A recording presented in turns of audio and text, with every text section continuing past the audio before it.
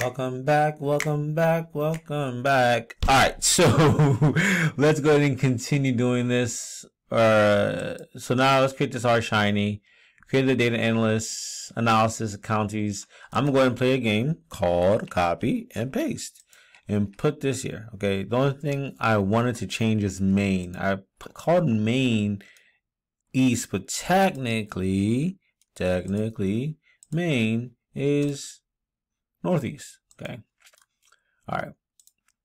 So north east east save this within the proper directory week 6 lab 6 data analysis analysis counties fantastic oh i'm in the way ha ha ha all right. So save this. Boom. Close this. Bam. Close this from the other version, the actual answers. Um, open this up. And then create an R shiny. Boop. Ooh, now this is where it gets kind of important to note. We're gonna have to use here, here. Just note that. So shiny counties. I'm gonna do camel counties I want to keep it counties. Oh, not counties. Shiny states. And watch this app. Okay, that works. Single file. All right, boom. And I'm gonna browse to make sure I put this in the right directory. Week six, lab six. That's good. Boom. Create. All right. So now what I'm gonna do automatically source it. Source Data, boom. Ooh. This is where I forgot I had to use here, here. Right? I believe I, yeah, here, colon, colon, here. And then, what am I, what, which one? Okay, here we go. Lab week six. And then, um, oh, it should be lab Six is gonna, be, gonna give me that colon, isn't it? I wonder why that doesn't make sense. It should just be lab. Well, no, it does make sense. That does make sense. Okay, lab six. Okay, and that's it. And then I just say comma data analysis. I'm gonna press tab again now. It didn't show up analysis states. Is that what we called it? I already forgot. That's the answers. Dr. Williams. No. Uh, I should be doing this from the. I should be doing it from here. Sorry. To be consistent. Ba ba ba ba ba ba ba ba ba. Okay. Okay. Lab six. Okay. Boom. So ideally, there's show uh, analysis counties, and I use dashes. Maybe that's why it didn't work. You shouldn't do that. You should. you shouldn't have it all in one. Counties. Dot R. And then what we can do is to sometimes double check to make sure that it even worked. We could just run it, which is fine. But I wanted to see if it gives me the path. Okay, great. It does give me the path. All right, and that's what it does if you wanted to ever know.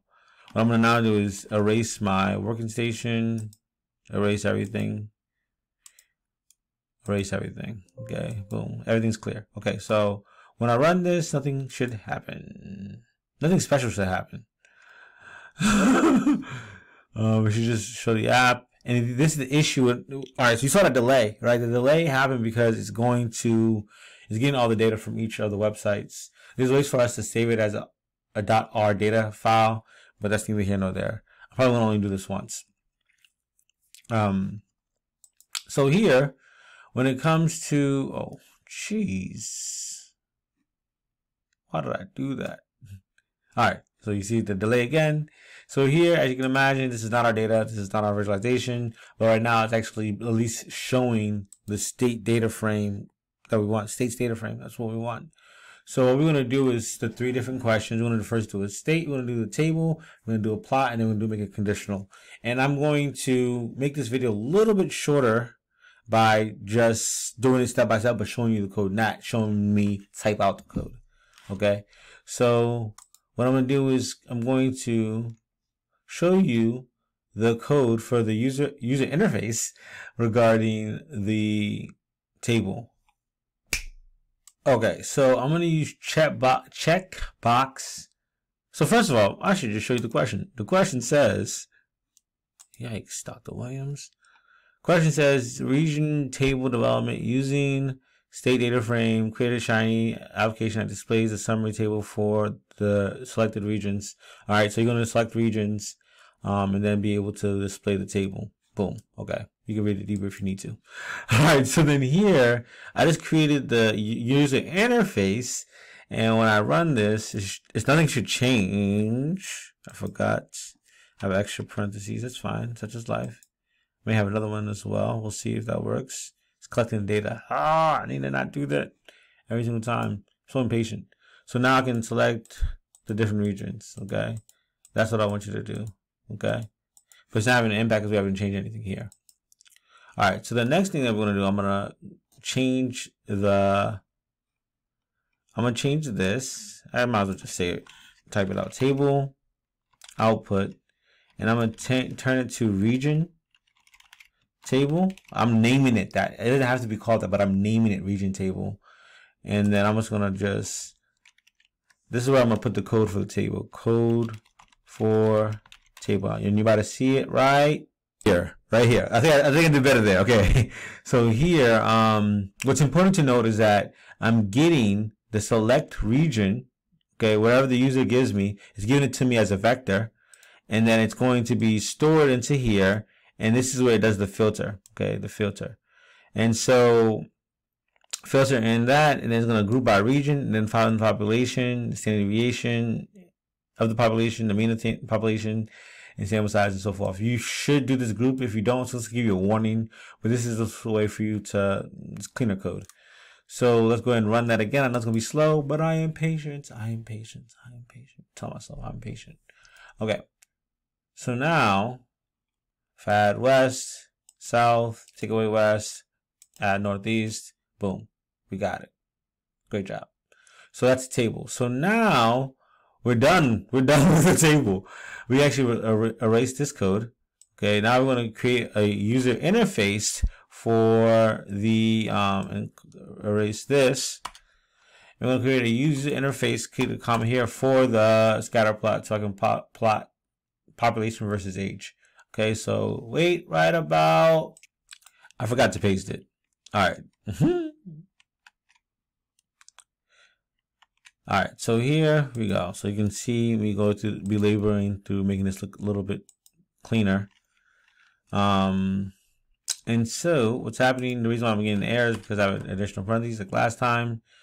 This is the user, uh, this is the input ID. This is the label, um, input ID, and then label.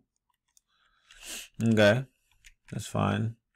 And so then from there, this is all the states. So this is where you could be using the states variable, states names, but instead of utilizing, and I should have said this earlier, utilizing this thing called unique that allows me to get the unique elements, regions, as well as states from that data frame. So if you look at this, I'm going to stop running the code. I get the unique names of regions. You can do this thing, same thing for states. So from here, I now know, I now need um, to show the plot, or at least create a plot. So this is going to be where I'll put the plot output, output. I'm going to, I'm going to call this uh, state plot. I guess that makes sense. Um, that doesn't make sense. Okay. And then I'm going to create the code here. So I'm going to paste the code here in a moment. Code um, for plots. Pause this. You put my put me on 2x so I can move fast. So now I have the plot this the function, at least the code for the state information. This is me filtering based on the selected states. Um, and me, this is me, the rest is me creating the plot. And so notice I put commas. This is different. I'm actually, this little thing right here, sorry, this is not going to work. I should run it and let you see that it doesn't work because I'm utilizing a package called scales when I, in my answers. Watch, it's not going to work. Oh, it's, it's going to work, but not show the plot. Yeah, comment I found. All right, so what we need to do, you need to install scales. Okay, so I'm going to show you the actual function, the library, and then you can um, install it yourself live because you know how to do that. Scales, okay.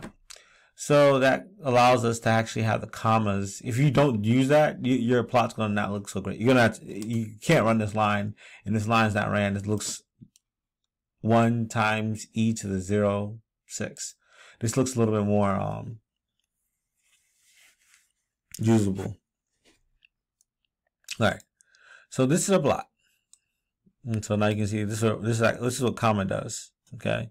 So New Mexico, Louisiana, you can add Southwest, okay, I mean South, Northeast. Doesn't want to change the plot. Okay.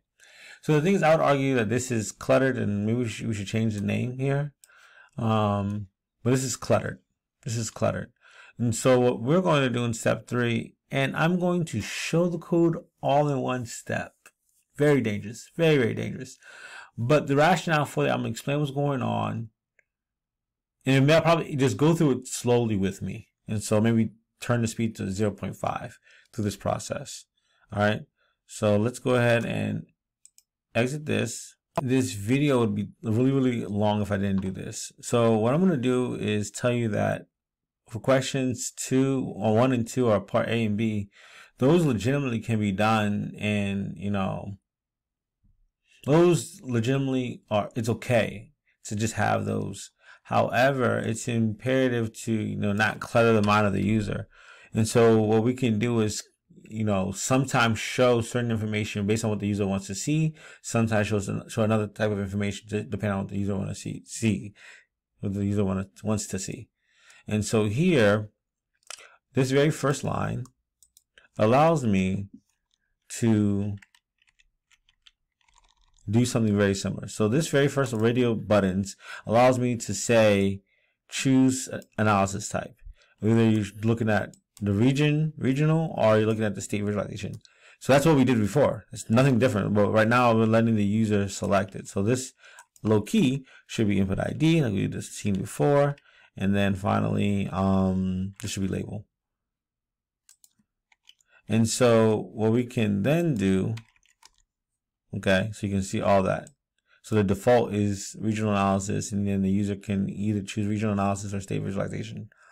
So when I run this, I run it. I'm gonna run it. I'm gonna run it. I don't think I'm gonna run it and then have it shown. I'll just discuss the piece by piece.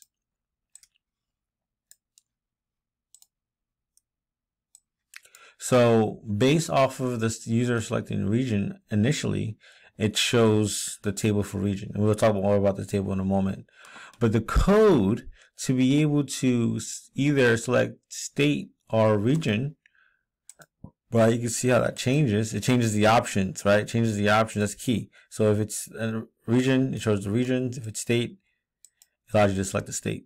So how that works is by using two conditional panels. And notice that there's a comma here. So, comma. Then conditional panel. Okay. And so when you, what you want to first do is ask for the condition. And look at the syntax. It says input dot, or input period, not question mark. So whenever it's used within the actual user interface, you're going to use input dot equal equal region analysis. Look at the look at the quotes. Make sure you pay attention to details. Look at the quotes. And then from there, I'm going to have that that original tech checks check box what I did for the region. So this is where the label should be, or I input ID, and then the actual label, right? So this will be that, this will be that, and then this will be that. So I'm not gonna do the same um, code that I did earlier, but um, at least formatting it for state, but you get the point that once you're in, because this, once you're in this conditional panel, you're going to show this information. And then it'll look the same thing. Once you're in the state visualization, you'll show this information. The same thing is done for the analysis type. So if someone, if the analysis type is equal to, I mean, sorry, for the main panel, if someone selects region analysis, it's going to show the table output for region table. And if someone selects, you know, state analysis or state visualization, where is that? Right here. Right? From this um, radio output is going to then therefore display it. Okay. Actually, I should just show you this. Uh, that makes sense because I can see that you don't have access to this code. So here you go. That's everything. All right. So that's it for this video. Uh, and notice I didn't change anything to the um, server, the backend. I didn't change anything. I didn't need to. Okay. So it's going to select based off what the user selects. It's going to display based on what the user selects. So that's that. All right. Done.